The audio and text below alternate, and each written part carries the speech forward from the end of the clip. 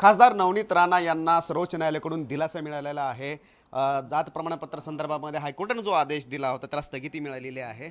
आता मला सांगा की हायकोर्टानं अगोदर आदेश दिला आणि त्यानंतर सुप्रीम कोर्टानं आता स्थगिती दिली. सुप्रीम कोर्टाचं नेमकं म्हणणं काय?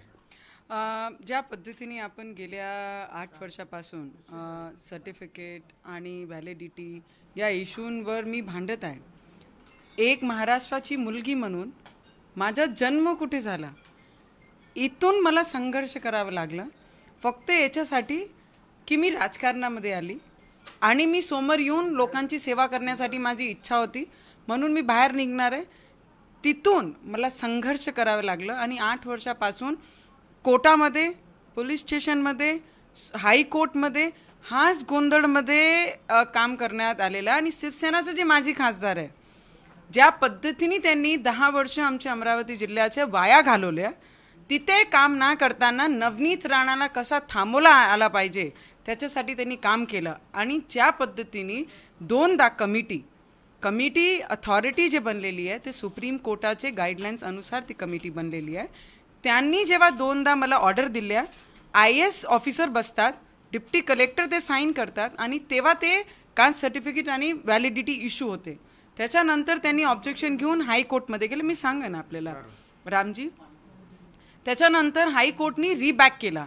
This is a genuine normal जेव्हा आपण कोर्टाचे कोणताही निकाल का सर्टिफिकेटवर बद्दल पाहतो तर कोर्ट म्हणते this is not this is not our rights आम्ही डिसाईड नाही करू शकत. हे कमिटी नेमलेली आहे. ती कमिटीने याच्यावर निर्णय घ्यावे की याला यांना व्हॅलिडिटी द्यावी की नाही.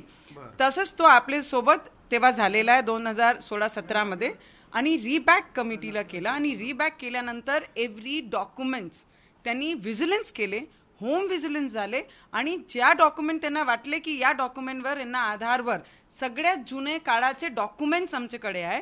दोनशे वर्षाचे डॉक्युमेंट्स ज्या जे त्यांना वाटले की या डॉक्युमेंटच्या आधारावर आपण देऊ शकतो. ॲज अ नियम नाईन्टीन फिफ्टीचे आधीचे डॉक्युमेंट नियमानुसार त्यांना व्हॅलिडिटी आणि कास्ट सर्टिफिकेटला लागू असते. आणि त्यांनी चेक करून हायकोर्टचे आदेशानुसार त्यांनी ती व्हॅलिडिटी आणि सर्टिफिकेट मला इश्यू केले आणि दोनदा मी इलेक्शन लढली. पहिल्यांदा माझा पराजय झाला मी पराभव झाली त्याच्यानंतर मी परत लढली आणि आज जे सुप्रीम कोर्टामध्ये झालेलं आहे त्यांनी स्पष्ट जेव्हा आमचा ॲडव्होकेट आमची बाजू घेत होता तेव्हा जेव्हा ऑपोजिटवाले त्यांचे विरोधीचे बाजू घेत होते तेव्हा जजनीसुद्धा त्याने क्वेश्चन केला. की दोन हजार तेरापासनं यांना सर्टिफिकेट इश्यू केलाय. तुम्ही आज उठून कसे येत आहे तुम्ही आज उठून उठून एवढं लवकर घाई कशाची आहे तुम्हाला? She is a sitting M P तुम्हाला कोणती घाई पडलेली आहे? कालावधीमध्ये तीन सरकारही गेली. तेराला वेगळं सरकार होतं चौदाला वेगळं सरकार आलं आणि आता दुसरं सरकार. आणि विशेष म्हणजे शिवसेना त्या सरकारमध्ये होती. आणि मागे जेव्हा मला कोर्टामध्ये न्याय भेटला तेव्हा त्यांची सरकार होती.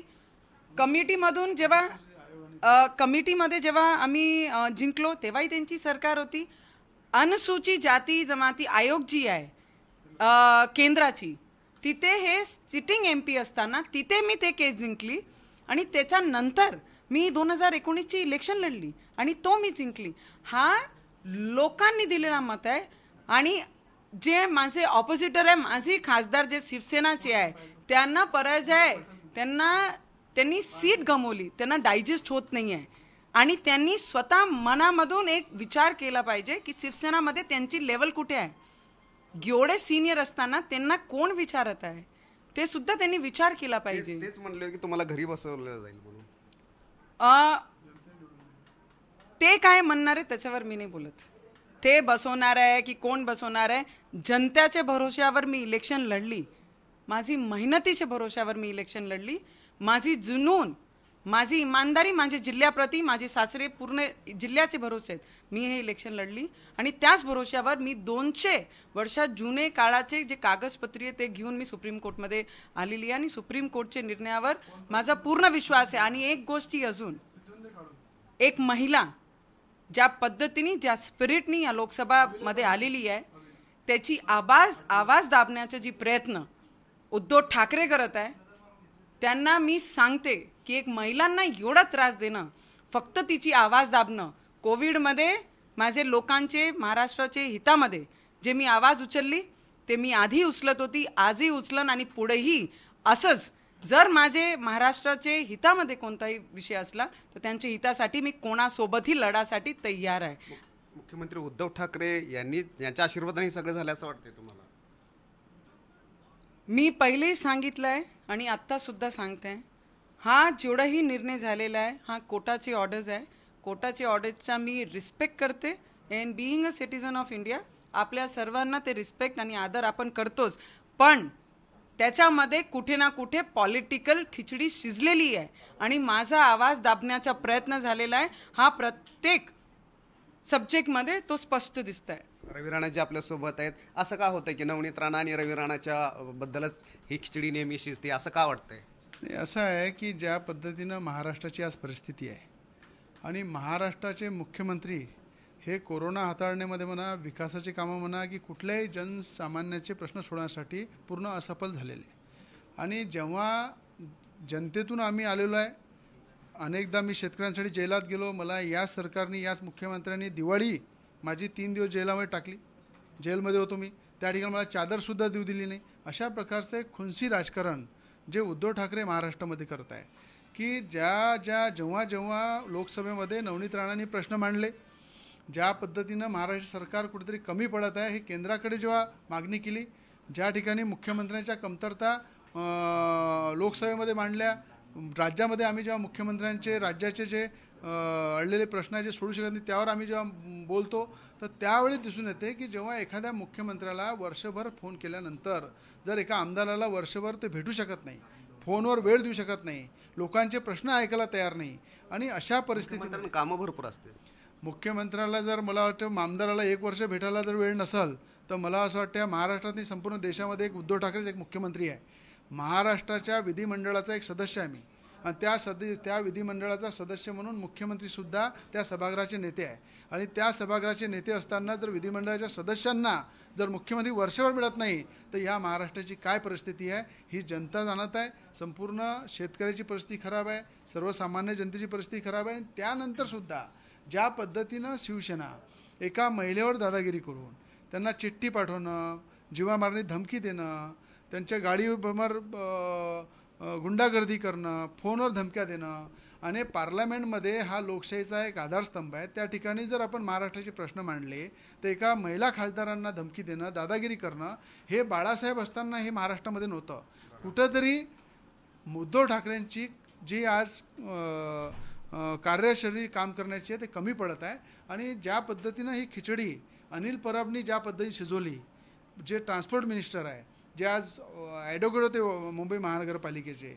मला असं वाटतं की ज्या पद्धतीनं आज जमिनीचा घोटाळा ज्या अवतीभोवती त्यांच्या फिरत आहे त्याच्यावर सुद्धा ईडीनी आणि सी बी आयनी कारवाई केली पाहिजे.